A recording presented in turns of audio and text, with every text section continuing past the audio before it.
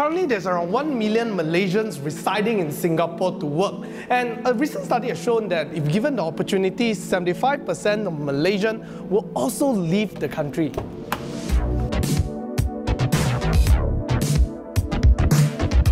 You see, actually brain drain is really a big problem in Malaysia, although we don't really acknowledge it. This is because people are the ones who drive the country and grow the economy.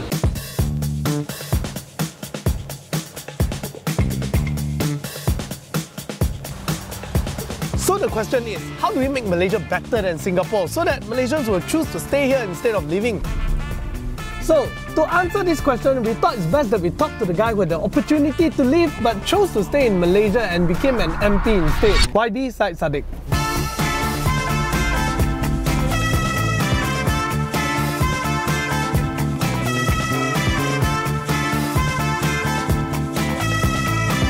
Wani, thank you very much for seeing me today, right? So let's get straight down to the issue of the day. Now, Malaysia and Singapore has been independent for Absolutely. about the same period of time. However, during this period, Singapore's uh, average salary growth it's so much higher as compared to Malaysia. So, what happened? What's your view on this? I think from the onset is to acknowledge that we have a major wage issue in Malaysia. Let me give context. Uh. Uh, during the height of COVID, Singapore launched an ambitious plan to get a lot of Malaysian nurses to service the healthcare sector, and the salary put up is equivalent to a surgeon in Malaysia. The biggest problem in Malaysia is not unemployment. The unemployment figures in Malaysia is about 3 to 4%. Alright. At its Yeah, it's worst, it's 4 to relatively 5. low. It's relatively low to the region.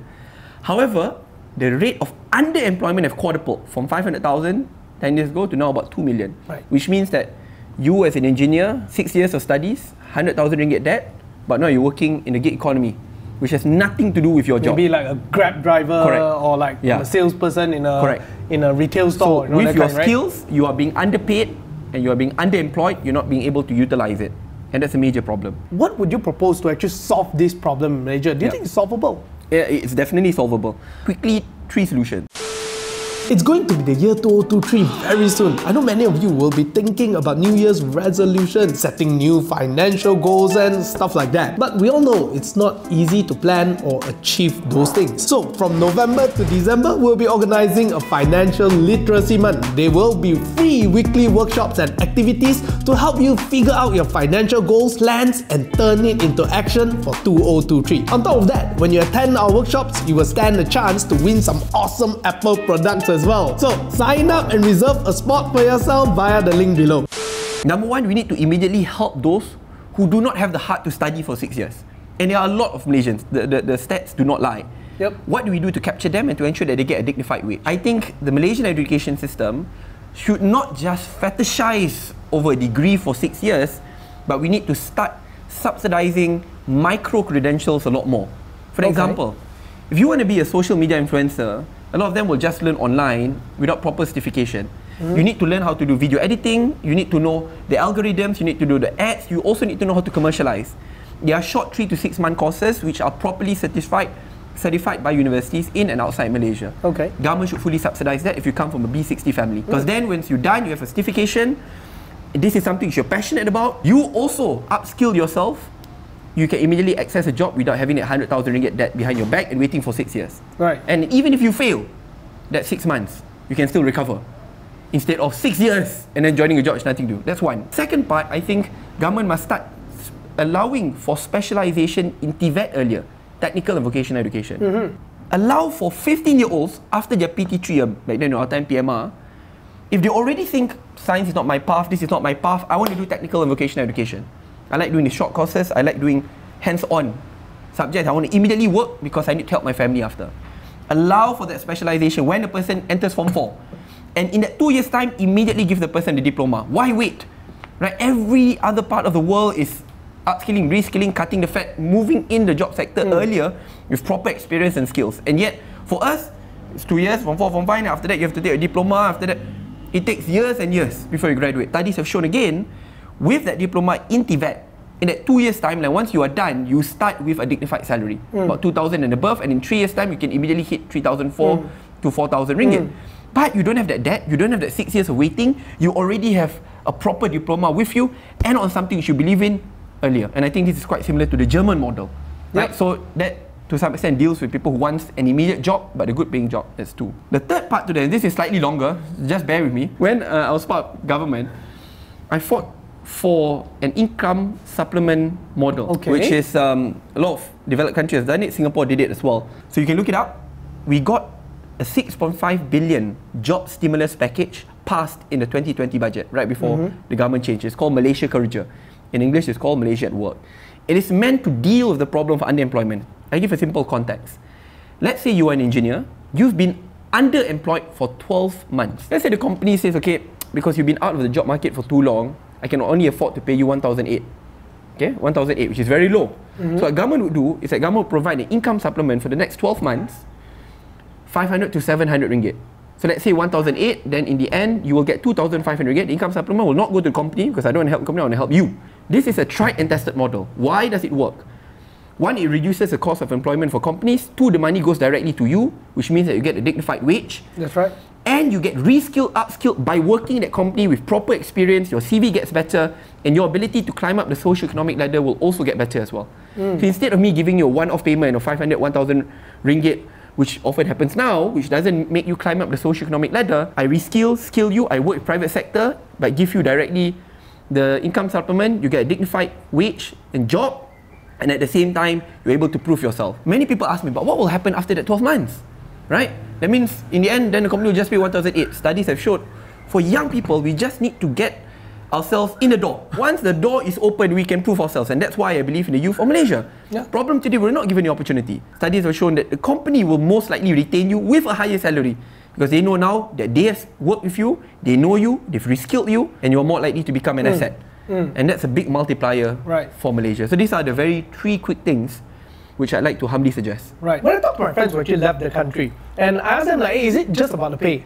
They say it's not just about pay. It's also about the problem and opportunity. And mm. and this is the same across all races, whether they are Chinese, Malay, Indian, or whatever race who actually left Malaysia. Mm. So why is this happening in Malaysia? Because we are building a system based on equal outcomes and not equal opportunities. What do you mean by that? So equal outcomes means that we create a largely unequal system in hopes that everyone will be equal at the end, which is very vague and ambiguous to begin with, but we are focusing a lot more on the outcomes instead of providing equal opportunities. I'm advocating for a system in which we build a country which is based on equal opportunities. Because you cannot treat, for an example, a Chinese family in Parit Jawa in which the total net income of the family per month is 2,000 ringgit, which is very low, and have five children, cannot send their son or daughter to tuition.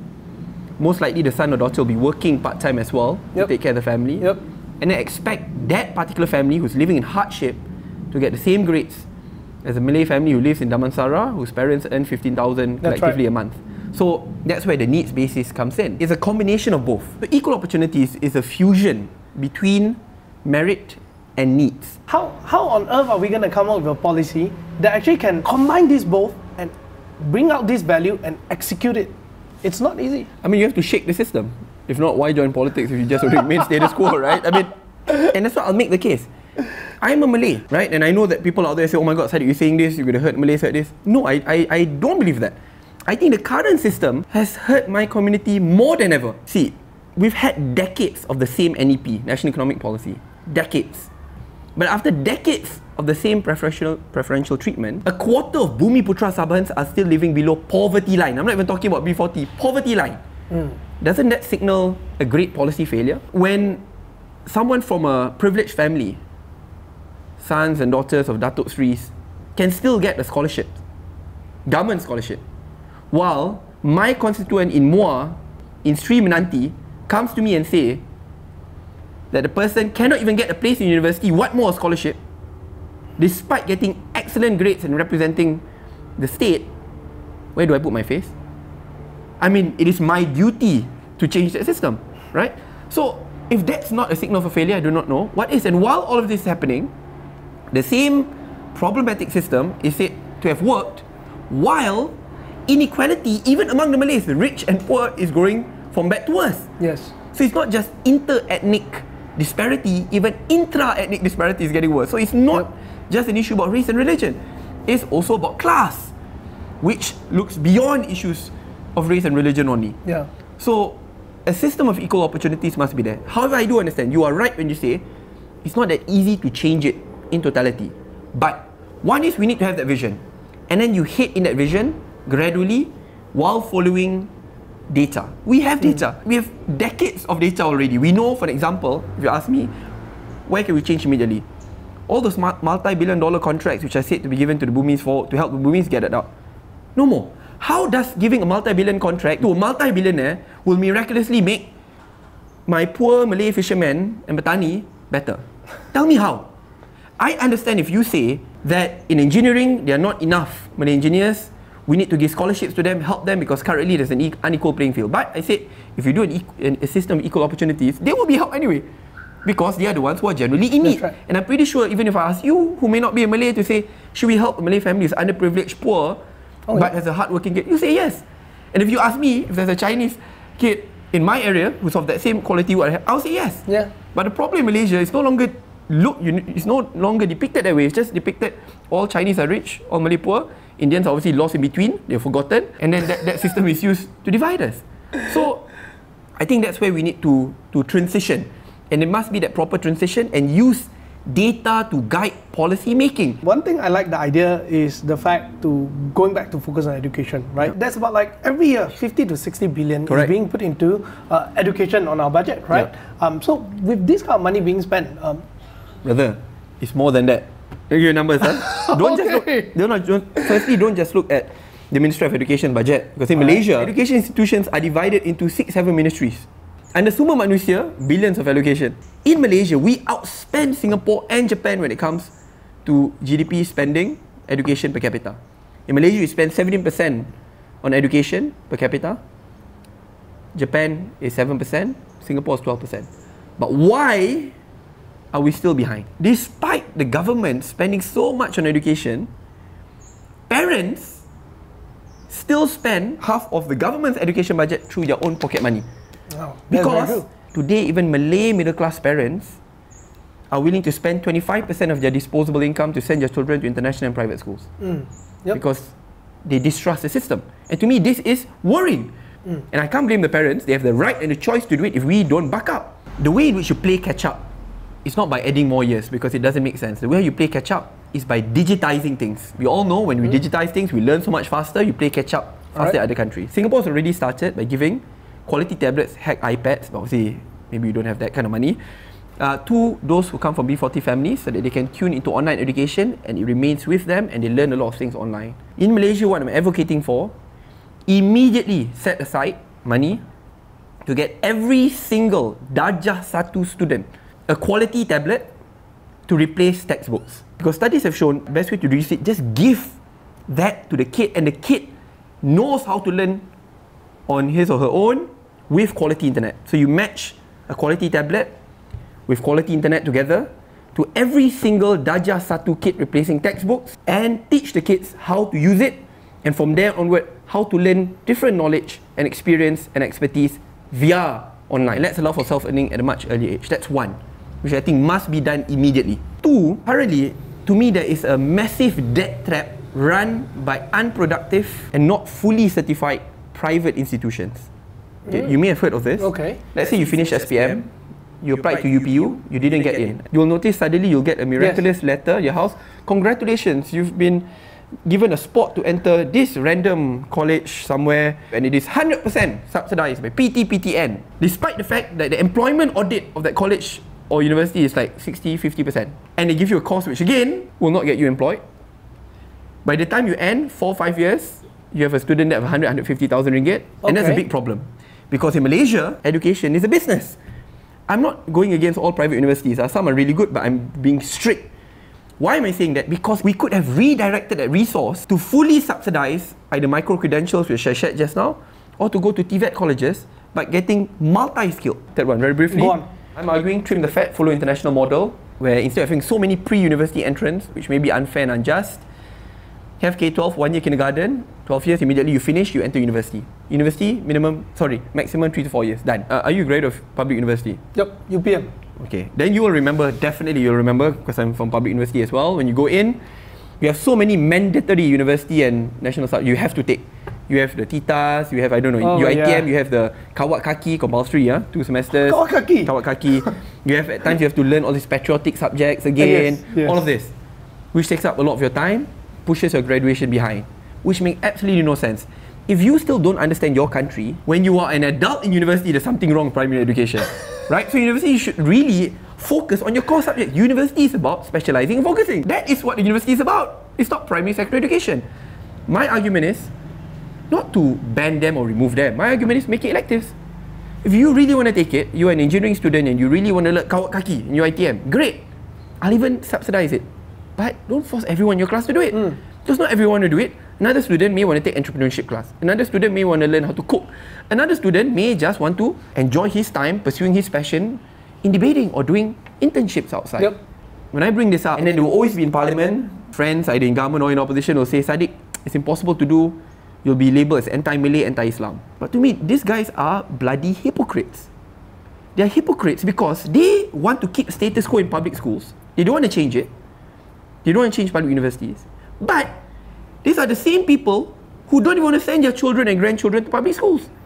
Tadika in France, sekolah kebangsaan, which is not kebangsaan, their early education in Eton College, on all the expensive, fancy uh, colleges in the UK, and then university abroad as well.